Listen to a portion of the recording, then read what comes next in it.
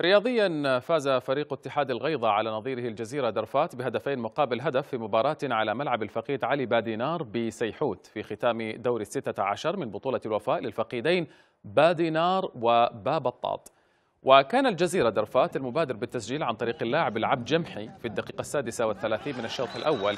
في حين سجل هدف الاتحاد عبد المانع عتور في الدقيقة الثانية عشر من الشوط الثاني وأضاف اللاعب محمد القميري الهدف الثاني في الدقيقة الثالثة والثلاثين من الشوط الثاني.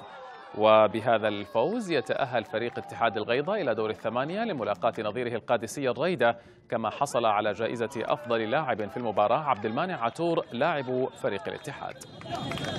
لعبنا اليوم مباراة من يتأهل إلى دور الثمانية ضد الجزيرة درفات والحمد لله توفقنا عليها بنتيجة 2-1 ونقول هارد لك فريق جزيرة درفات والمبروك لفريق الاتحاد.